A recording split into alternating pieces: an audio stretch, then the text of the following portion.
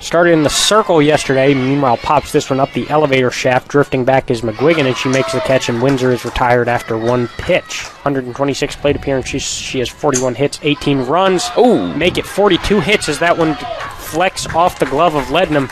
And Taylor Wise leads things off with a single, hard hit single, with a chance to get the East on the board. She has a runner in scoring position. Belts one, back, back, back.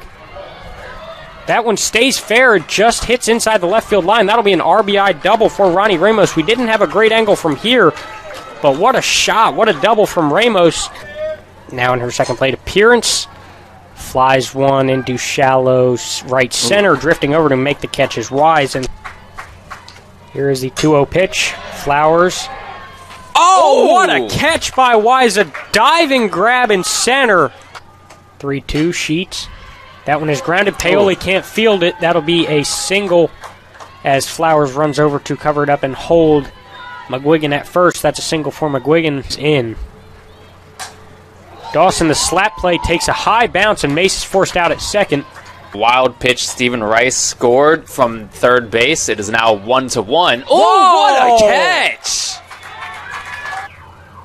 Ken 2 and 1. Flowers belts 1, but that's going to maybe fall in the gap. Run down by Chang. And now oh. McGuigan connects. Going back is Mace, but she's not going to get there. A solo shot to deep center. The farthest part of the park you can hit it to, and McGuigan goes right there. Solo homer for Kelly McGuigan, second run of the day for the Ephs, and delivers the 2 2 pitch. Stockman pops that one up into left, drifting over and making the catch is Haywood, and the inning is over. With a single and a pop up.